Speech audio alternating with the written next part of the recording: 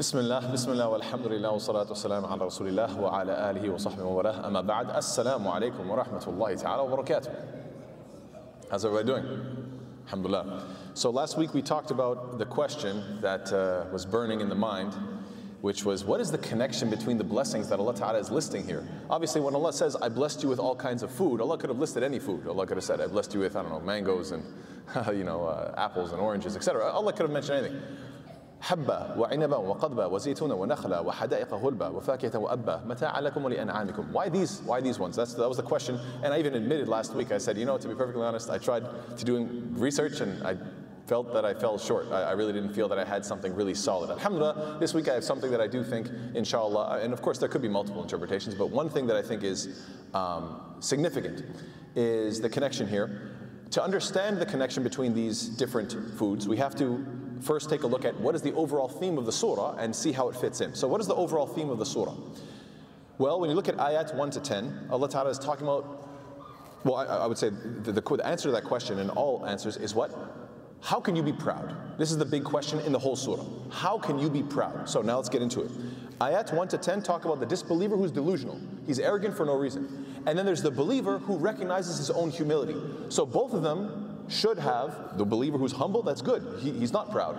And the disbeliever, he's arrogant but delusionally. That's ayat 1 through 10, roughly speaking. I mean, uh, that's generally the, the concept here. So, this idea of what are you proud of? How can you be proud? Then, uh, from ayat 11 to 16, Allah talks about revelation, how it is from way above, it is with the angels, and it is unreachable to human beings unless Allah Ta'ala sends it to you. So, what can you be proud of? You're completely misguided until I send you something from way above you that you cannot reach. So, subhanAllah, what are you proud of? Then you have the next section from 17 to 23. Allah Ta'ala is saying, Look at where you came from and look at where you're going. You came from a sperm drop. Is that something to be proud of? You're going into your grave, right? Uh, uh, nutfatin, Allah Ta'ala mentions the nutfa, and then what? Uh, then you're going to die and I'm going to put you into a grave. And then anshara, then I'm going to resurrect you. You're not going to have any choice in the matter. I'm just going to take you out whenever I want. And you're still ungrateful. That's how I was mentioning. Ma'akfara, how incredible that you, you disbelieve after all this has been demonstrated. And Allah Ta'ala also finishes by saying, what? You're not even trying to do what you're not even trying to accomplish what you're supposed to accomplish so again, what are you proud of? So when you look at this consistency, then you get to this section, which is ayat 24 to 32, where Allah is saying, look at your food, look at how I send down the rain, look at how it splits the earth, and now take a look at these different foods. And the question is, how can you be proud when your food is the same as your cattle? In the sense that Allah Ta'ala starts with what? Well, first of all, the rain, we, are all sitting around for the rain. We, we, we, we couldn't make, let's say, the salt water uh, beneficial for the earth. If Allah Ta'ala didn't bless us with this water, we couldn't transport all that water, we would eventually starve and die. Right? The fact that Allah evaporates it, brings it over, sends it down as crops, just like the animals, we're equally just sitting around waiting for the rain to come down. Then when it splits the earth and comes up, it's the same for all of us, us and for our cattle. And then Allah Ta'ala, habba, grain. Grain is something that we share. We can eat it and our cattle can eat it as well. Wa'inaba. This is split. Usually you find grapes is more of a luxury for humans, and then uh, uh, herbage is more for the animals. Wa nakhla. This one's really interesting. This one also puzzled me. What, what's the connection here? Both of them have pits. Zaytun is an olive, right? You, we as humans eat the flesh around it, and same thing with the date. We eat the flesh around it, but they both have pits. And guess what? Both pits can be ground up and fed to the uh, to the uh, cattle. Subhanallah. So again, there's a connection with the animals. Uh, uh, uh, uh and when it comes to your gardens, when I was wondering, what is the connection here? Why do you create a garden? Why do you fence off? A hadiqa is a fenced off garden. Why is it fenced off? So the animals don't come get it. Again, you guys are sharing with your animals to the point that you guys have to fend them off and say, okay, look, I need to protect this because they're going to come take our, our food. Maybe the sheep are going to come. Maybe the goats are going to come. I have to protect you. How are you proud when you're eating the same stuff as your sheep and your goats, and you guys are fighting each other, putting up fences to make sure, no, this is for me and this is for you. And then, of course, when it comes to fruits and the grass, the fruits is for us and the grass is for them. And then Allah Ta'ala makes it very clear, This is food for you. This is a, a, a benefit for you, or you can say mata' is more like a, a, tool or a benefit or a sustenance or something you can uh, enjoy for you and for your cattle. So subhanAllah, this connects all of them together, and I think this is a, good explanation, inshallah ta'ala. Now we can go on to today's talk, inshallah. It might be a bit long. I apologize. I'm going to try to finish the surah here, inshallah. Allah Ta'ala says, بَعْدَ أَعُوذُ بِالرَّجِيمِ فَإِذَا جَاءَتِ الصَّاخَّةِ Now, after mentioning all of this dunyawi, food, this, that, and the other, don't you benefit from these blessings? Now Allah Ta'ala says, then when comes the deafening blast, blast. صَخَّ يَسُخُّ صَخًّا فَهُوَ صَاخًا so, uh, uh, means what? to make a deafening noise by striking something so hard, like cracking a rock. Imagine something like a big boulder gets cracked, the sound it makes, obviously, it's going to be incredibly loud. It's going to be, it's going to shake you to your core. It can also mean to hit somebody either on their ear or on their head so hard that it deafens them or it knocks them out, it shakes them, it rattles them. So this is the blast. This is what a judgment day is called. It's called the deafening blast. Now, this is paralleled with the previous surah, Surah Nazi'at, where Surah Nazi'at, this is Surah 80, Nazi'at is 79. So what's the ayah that's similar to it? فَإِذَا جَاءَتِ الطَّامَّةُ الْكُبْرَى, right? Very, very similar wording, and this is in reference to the overwhelming calamity. We're going to talk about that when we get to that surah, inshallah ta'ala, but there's just an interesting parallel between these two surahs. Why does this surah talk about the sakha in particular? Because it's appropriate, because in this context, the beginning of the surah was talking about the disbeliever who was listening to this da'wah and he couldn't care less. He was being disrespectful to the Prophet. He was treating it like it was a joke. And so, therefore, you're receiving this preaching, you're too proud, too careless, and ultimately not really listening. So Allah is saying what? You may ignore the message now, but, the, but ignoring the sound won't be possible then. On that day, when the deafening sounds, sound comes, you, it will be impossible for anybody to ignore this incredibly loud, deafening sound. It will have such a powerful impact. So that is one concept. And also you could say, you know, even in English you say, I'm putting somebody on blast. And there are three people that feel that they're being put on blast in the surah. Abdullah ibn Umm Maktoum, who felt like, oh no, I was interrupting the Prophet am I being reprimanded? Allah Ta'ala reassures him, no, no, I'm not reprimanding you because you had good intentions. The Prophet was being, abasa wa you frowned. So he might feel like he's being put on blast, right? And so he's very nervous. And we know that on Judgment Day, even the Anbiya will be saying things like, you know, maybe Allah Ta'ala will hold me to account for even the smallest and tiniest infraction that nobody saw but Allah saw. Because obviously the blind man didn't see him frown, right? So nobody actually saw it, but Allah saw, saw it, the only one who did see it. So you might feel nervous, but of course Allah Ta'ala reassures him and says, no, no, you're, you're, you're you know, he, Allah Ta'ala is not angry at him for this.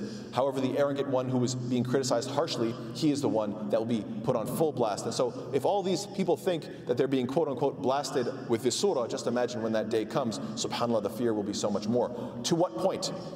Well, how bad will the blast be? Allah Ta'ala says, يَوْمَ يَفِرُّ الْمَرْءُ مِنْ أَخِيهِ On that day, a man will flee. فَرَّ يَفِرُّ فَرًّا or فِرَارًا or مَفَرًّا means what? To flee in terror, to run full sprint, to get, you know, when someone's just eyes are super, super wide, screaming as loud as they can, and they're running full blast. That's farra yafirru, to run full blast. Why? Because you're terrified. يَوْمَ يَفِرُّ مَرْءُ مِنْ أَخِيهِ He's going to run from his brother. Why? And also a mar.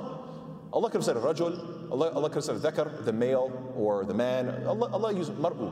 Mar'a comes from "Murua." Murua means a, like, uh, uh, to be chivalrous. So mar'un implies like a gentleman. If a gentleman is going to be running like that, imagine everybody else. You know, this is a good man. Uh, uh so why the brother? Family members are the people we spend the most amount of time with, thus, we violate their rights the most often.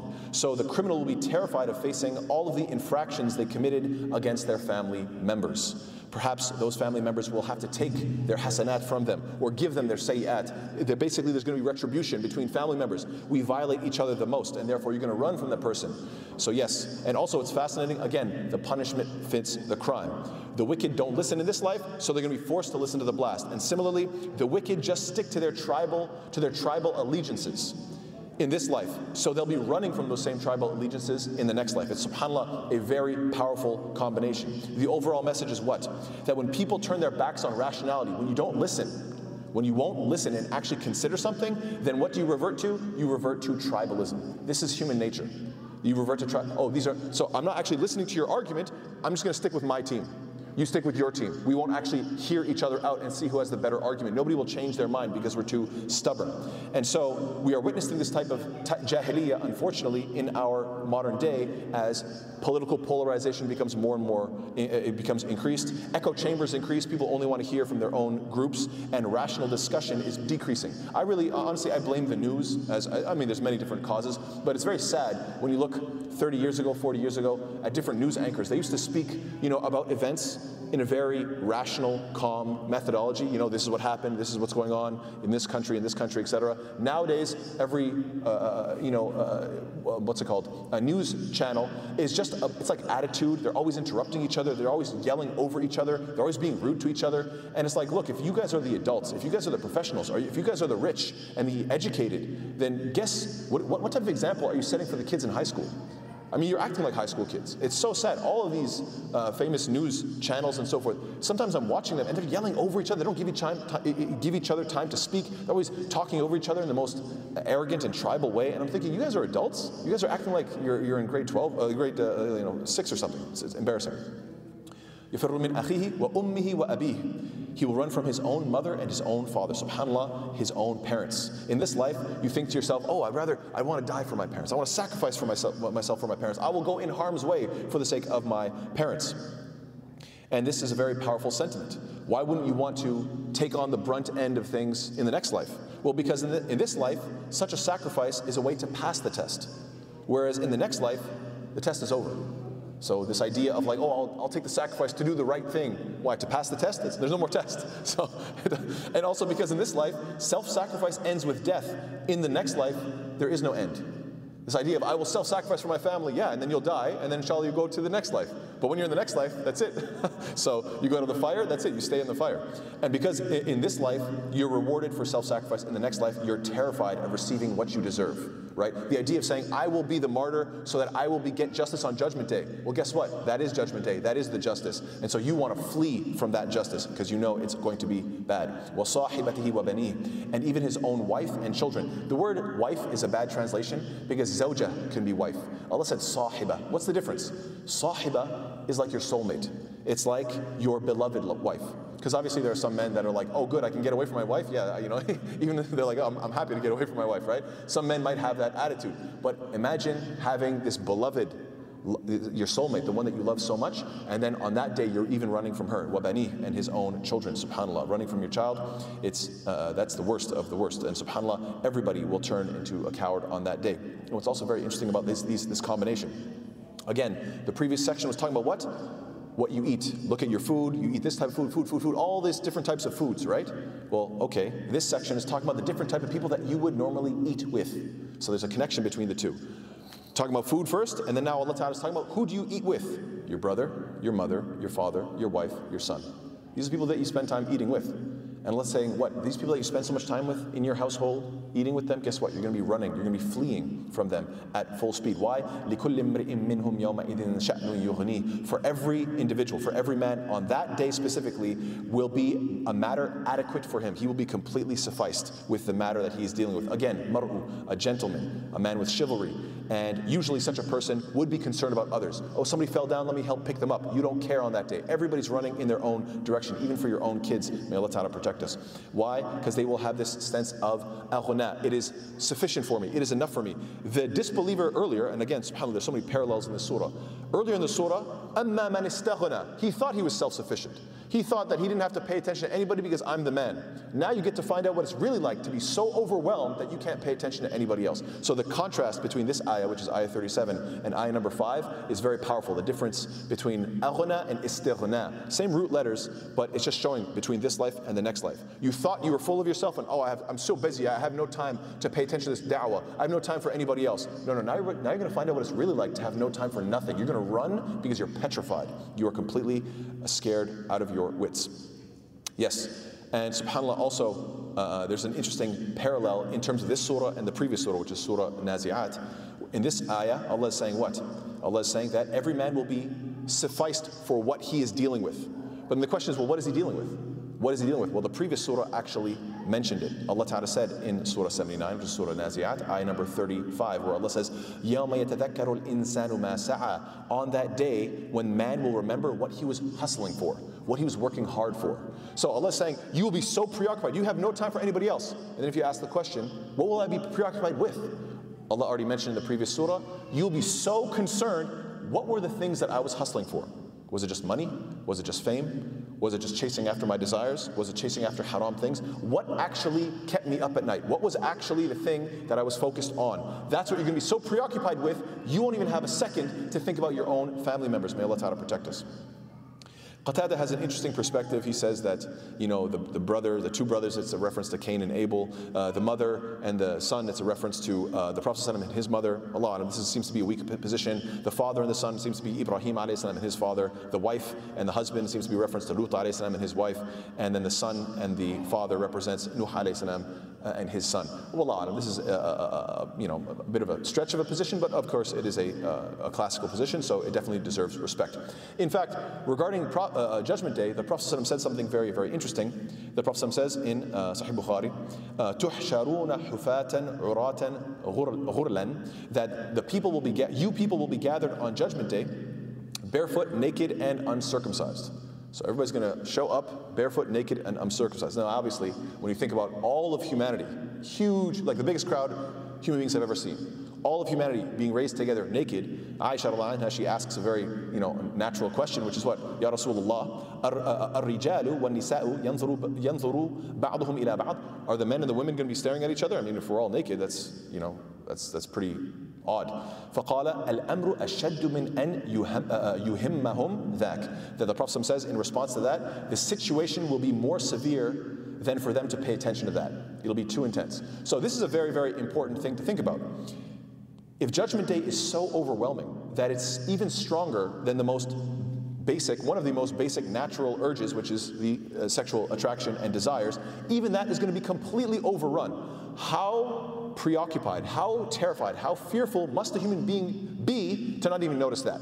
And obviously the answer is, subhanAllah, this is why it's called al-ghashiyah. That's why Judgment Day is called al-ghashiyah. Why? Because ghashiyah means to cover over. That means it's going to cover over all your senses. It's going to cover over desire. It's going to cover over curiosity. Hey, how are you doing? Hey, good to see you. Hey, what happened to you? I don't care about nothing on that day. Nothing will concern me whatsoever.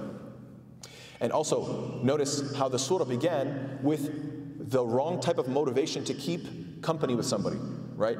And uh, the Prophet was being reprimanded. Why are you giving this respect to this guy just because he has status? Now, of course, the Prophet was trying to give him da'wah, and there's a, we gave a whole explanation about that earlier. But still, being close to somebody for status, that's the wrong reason to be close to them. Now, all Allah Ta'ala is talking about what? Being close to somebody just because they're from your tribe, they're from your family, they're from your friends, that's also not the best reason. So what is the right reason? If this if the beginning and the end of the surah is talking about all the wrong reasons, what is the right reason? Allah says in Surah Zukhruf, ayah number 67, Al-akhillau yawma idin li adu illa al-muttaqin. That close friends on that day will be enemies except those who have taqwa.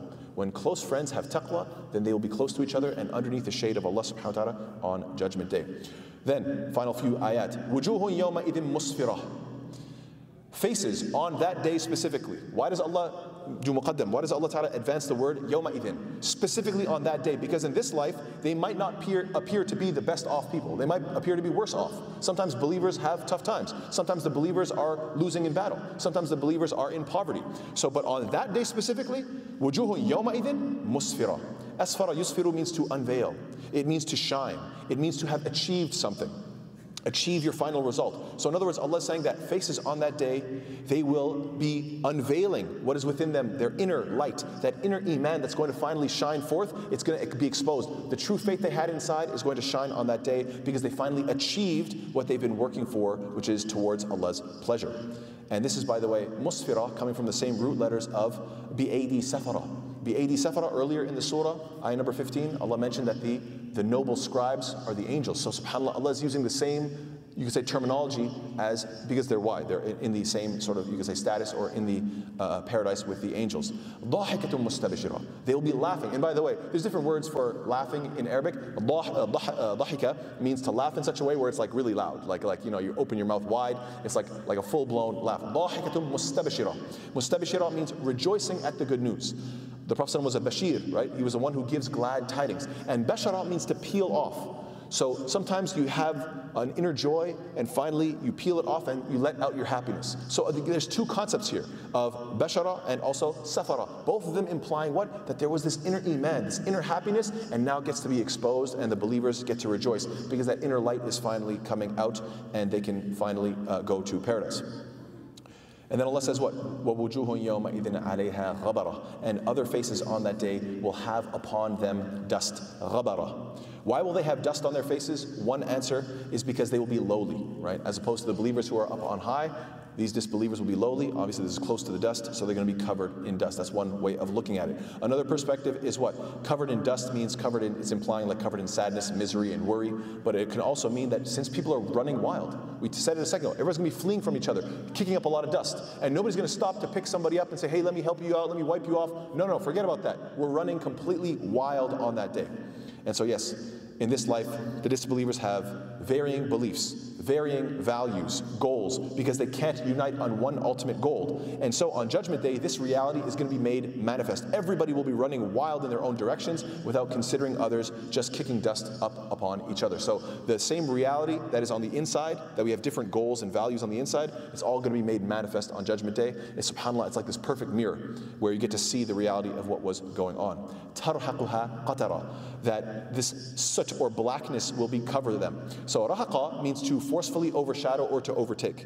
So what is going to be overtaking or covering them? It's qatara. Qatara means soot or the black smoke from a fire.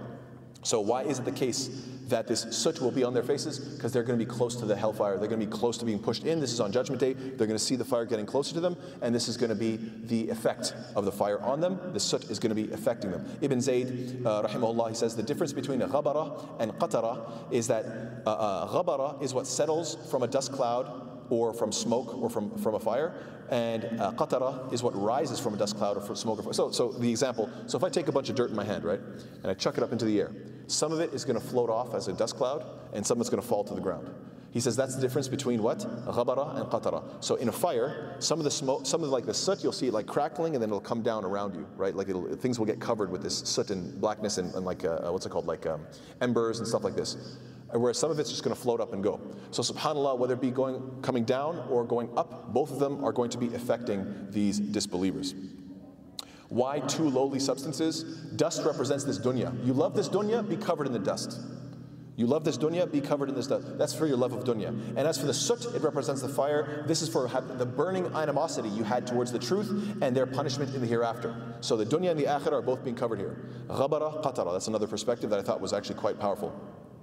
So, why is Allah Ta'ala going to going into detail specifically about covering their faces? Well, firstly, because the face represents the honor. And remember, the beginning of the surah was talking about how the Prophet was giving them respect, was showing respect to this, these, these, these disbelievers, even though they didn't deserve it. So now Allah Ta'ala is explaining who they really are and what type of treatment their quote unquote honor really deserves. Soot and this dirt covering their faces. And secondly, because people get dirty because of their environment. Very important point here. People get dirty because of their environment. A person will get covered in dust and dirty uh, because they are in a dirty environment, and they'll get covered in soot because they are around a dangerous, fiery, burning environment. And so, what is the lesson? Don't be around these losers. Stay away from them and their environment. Stay away from their influence. This is how. This is why the Prophet says what? مثل الجليس الصالح والجليس السوء كمثل صاحب المسك وكير الحداد. That the example of a good companion and a bad companion is like a musk seller and a blacksmith. We all know the hadith. You have a musk seller, you hang out with him, even if you don't get any musk, you're still just going to smell good by hanging around his shop. As for the blacksmith, you hang around him, then you're going to get some sort of little embers are going to jump and burn your clothes, and you're going to smell like smoke anyhow. anyhow. Last ayah, inshallah. I know I went long today. I apologize. I just want to finish it off. Last ayah, Allah says what? أُولَٰئِكَ هُمُ الْكَفَرَةُ الْفَجَرَةُ So a few, just two uh, points about this. The word kafir, referring to the ingrate or the disbeliever, that is a reference to your internal state. Fajir is a reference to your external. You're an open sinner, the evil that you do externally. It's your external trait.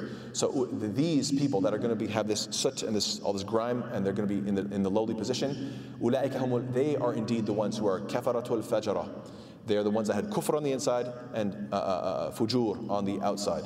Uh, so they had disbelief and ingratitude internally, and they had wickedness externally. So the disbeliever who is rotten both inside and out will be smothered in soot due to the fire. Meanwhile, the, the believer will be unveiling the good they had within them uh, and will be granted the recognition they deserve by Allah Ta'ala, bringing that radiance out for all to see. These two categories were given specific example uh, at the beginning of the surah, right? The blind man and the disbeliever. And now, subhanAllah, the conclusion is coming back to these same two groups and bringing it full circle. And the final point that I want to make is that in Arabic, it's a very interesting language, there are multiple plurals. So in English, you just put an S on the end. There's a book, there's books. You could be referencing two books, 10 books, a million books, doesn't make a difference, just one S, right? In Arabic, there's the word kafir and fajir. right? Meaning kafir, disbeliever, fajir, a sinful, open sinner, wicked person. Then there's one plural, which is a little bit smaller, jam'u qillah, smaller plural, which is kafirun and fajirun. Then if you want to get a step higher and a bigger plural, like a larger number, it's kuffar and fujjar. Then if you want the biggest plural, it's kafara and fajara. So here's my question. Why is the biggest plural being used in this ayah? It's the last question of the whole surah, guys. yeah, go ahead. That's not the answer I'm looking for. Yes?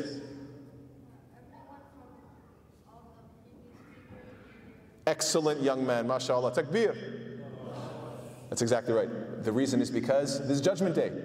This is the biggest gathering anybody has ever seen. If you're going to talk about the disbelievers on Judgment Day, the ones of this generation and the previous one and the one next to them, every generation of disbelievers are going to be there. It's going to be the biggest crowd you've ever could ever imagine. This is going to be all of the disbelievers, all of the wicked people. So you're not going to say uh, uh, kafirun or kuffar or fujjar. You're going to say kafara and fajara. So subhanallah, uh, this just goes to show the eloquence of the Arabic language that it's very, very particular and that Allah Ta'ala obviously puts the exact right words in the right places. And with that, we close. May Allah Ta'ala make us of those who can study these surahs appreciate them, memorize them, and live by them, and talk about them, and study them, and understand them, and appreciate them. Wassalamu alaikum wa rahmatullahi ta'ala wa barakatuh.